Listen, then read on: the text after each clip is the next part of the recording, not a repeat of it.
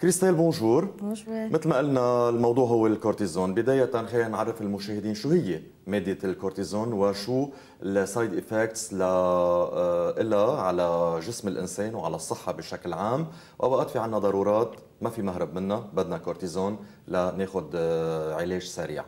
صح الكورتيزون هو دواء بناخده لعلاج آه، عديد من الأمراض. في عندك أمراض جلدية ال allergies يعني عندنا range كثير كبير من الأمراض بيضطر مرات الحكيم يعطي الكورتيزون للمريض. ولكن شو دخل الكورتيزون بال dietitian؟ وليش عم نحكي عن هذا الموضوع؟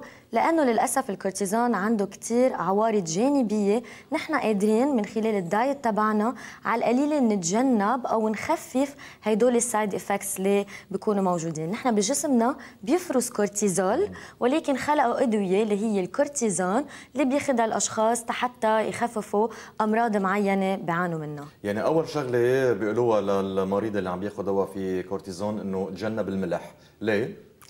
أول شيء الكورتيزون هو آه، واحد من ال side effects أو العوارض اللي معقول يصير عند الشخص هو احتباس بالمي أو water retention من هون مرات بننصح إنه نخفف الملح عند الشخص.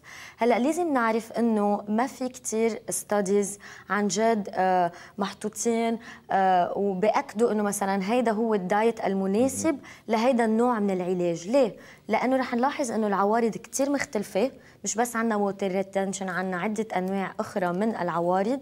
هدول العوارض بيختلفوا من شخص للتاني والحدّية تبعتها كمان رح تختلف من شخص للتاني. يعني في شخص رح يصير عنده water retention شخص تاني رح يصير عنده زيادة وزن إلى آخره.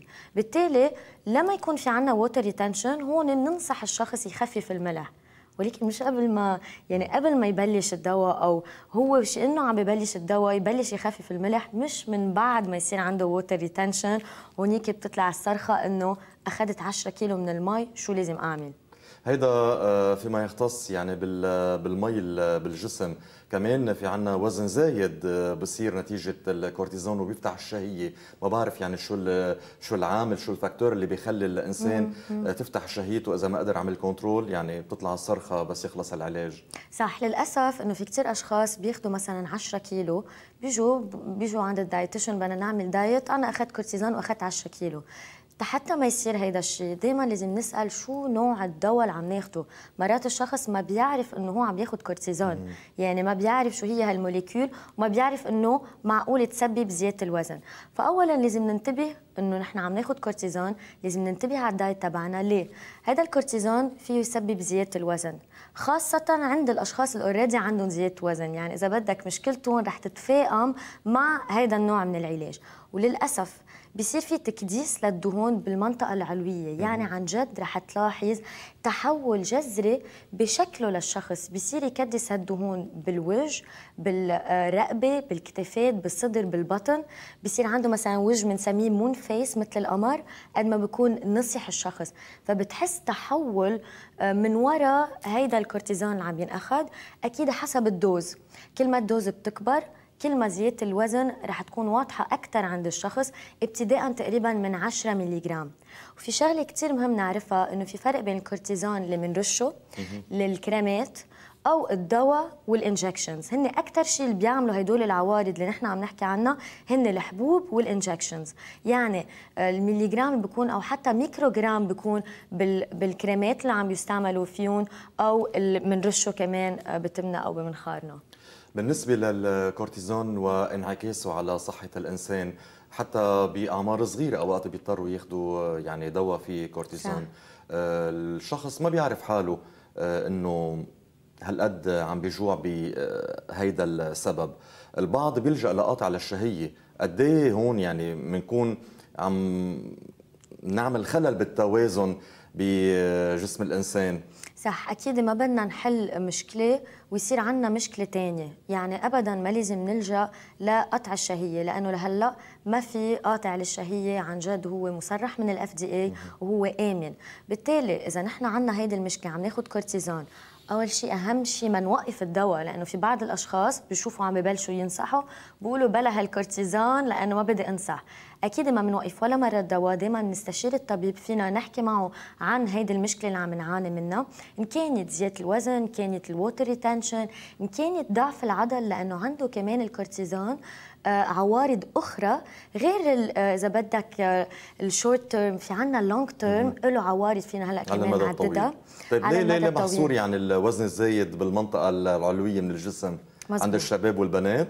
صح عند الشباب والبنات. لأنه أصلا الكورتيزول بالجسم مرات بنقول إنه هذا الشخص كثير بعصب بيعلى معه الكورتيزول وبنقول لهم إنه الكورتيزول إذا كثير بيعلى بالجسم بصير في تكديس للدهون بمنطقة البطن.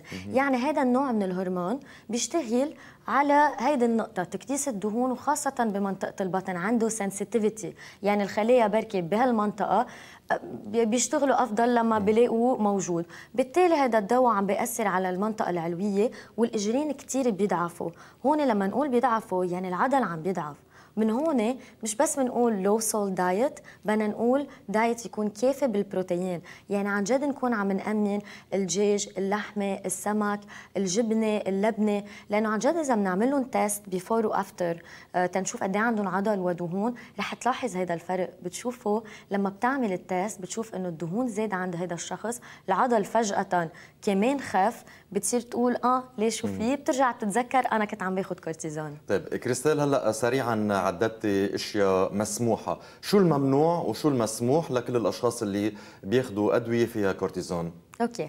أكيد حسب كل case ولكن عامة فينا نقول إنه لازم يكون diet كثير قليل بالملح لازم يكون قليل بالسكر والأفضل يكون قليل بالكربوهيدرات يعني كل شيء نشويات سكريات مش ناكل ست فواكه بالنهار.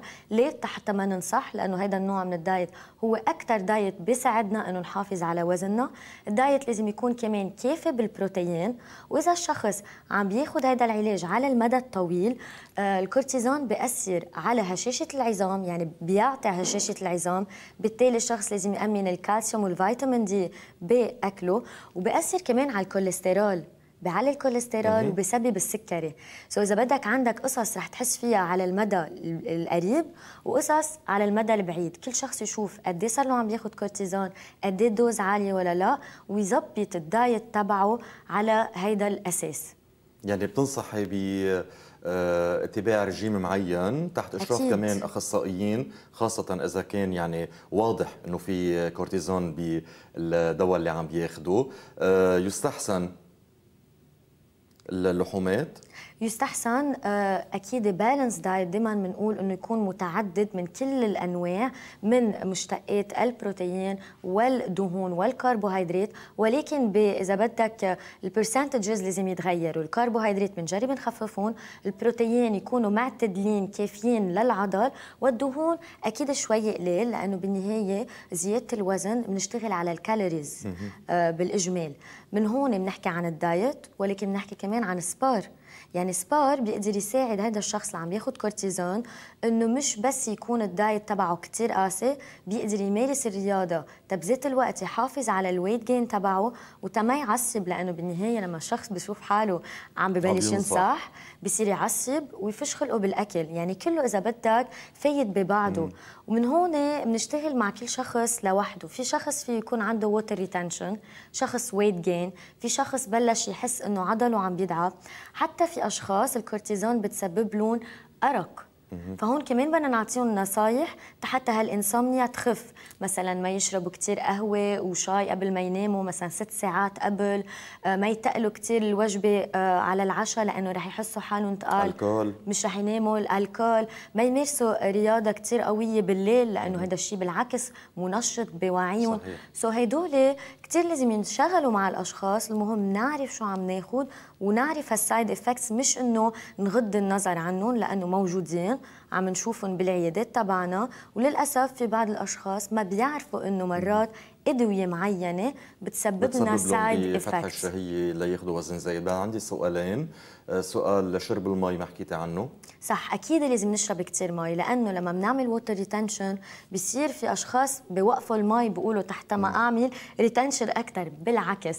نحن بدنا الدوره الدموية تشتغل أفضل فبدنا نشرب مي أكثر بالإضافة لتخفيف الملح. هدول اثنيناتهم بيساعدونا ما يصير عندنا هذا التنفيخ والتوريم لا بال ankles ولا بالرقبه تبعتنا ولا بجسمنا. السؤال الأخير كريستال بيدروسيان اختصاصية التغذية. قلتي إنه الكورتيزون بيفتح الشهية على الأكل وبناخذ وزن زايد. لما منوقف هيدا الدواء إنه خلصت فترة العلاج مش نحن بقرارنا دائما بنقول يعني آه، مع استشاري الطبيب. لما بتخلص هيدي الفترة آه، بينقص الوزن بيرجع الجسم يشتغل لوحده ولا لا؟ دائما بدنا رجيم. صح هذا السؤال كثير مهم. بقولوا بركي مرة ضروري أعمل ريجيم ولما بوقف الدواء آه، بيرجعوا بيروحوا للأسف عند بعض الأشخاص لا مش رح يروحوا لأنه إذا كان water retention رح يروح. ولكن إذا كانت زياده وزن هدول دهون تكدسوا. مشان هيك دائما بنقول خلينا نعمل prevention أفضل من العلاج. يعني نحن ما بنعرف يعني عن جد ما فينا نعرف هيدا الشخص رح يخسر يرجع وزن ولا لا أو هيدا الشخص رح يكون عنده هيدا ال side effects مشان هيك آه إذا بدك مش كل الحكمة رح يقولوا لكل المرضى تبعهم انتبهوا على الملح وانتبهوا على السكر لأنه بالنهاية مش رح يعرفوا مين رح ينصح ومين لا. بس بالنهاية بالقليلة أفضل إنه نتجنب نتبع diet قليل بالملح وقليل بالسكر. مش رح ننأذى من هيدا الشيء. بالعكس في حال كنا من الأشخاص اللي رح ننصح واللي رح نعمل water retention بنتجنب. so افضل الوقاية من إنه نوعى بعدين مع 10 كيلو زيادة. خاصة إذا كانت فترة العلاج يعني محدودة. هلأ إذا طويلة المدى مثل ما قلتي ضروري يعني استشارة إخصائية تغذية تحت إشراف الطبيب حسب كل المعلومات اللي بتكون بين ايديكم لترشدون على الطريق الصحيح. مزبوط. نصيحة أخيرة كريستال. نصيحة أخيرة إنه لازم يعرفوا 60% من الأشخاص لما بياخذوا كورتيزون شهرين أو ثلاثة بينصحوا. يعني ال percentage كبير بالتالي ننتبه على ال diet تبعنا ونمارس الرياضة ما نغض النظر على الأدوية اللي بتأثر على الوزن تبعنا مش يعني كل يوم نحن عم ناكل وحق علينا. لا في أسباب تانية بس نشتغل عليها تنحافظ على وزننا. إن شاء الله تكون هالمعلومات يعني نحن حطيناها بتصرف المشاهدين وهن عليهم ينتبهوا على صحتهم أكثر وأكثر ويسألوا عن مكونات الدواء اللي صح. عم ياخذوه أهم شيء يعرفوا على شو آه، بيحتوي. شكرا لك كريستال بيدروسيان اختصاصية التغذية. أهلا وسهلا فيك بيوم جديد. بنقول لك bon week-end وبنعطي موعد للمشاهدين بعد الفاصل مع لقاء آخر.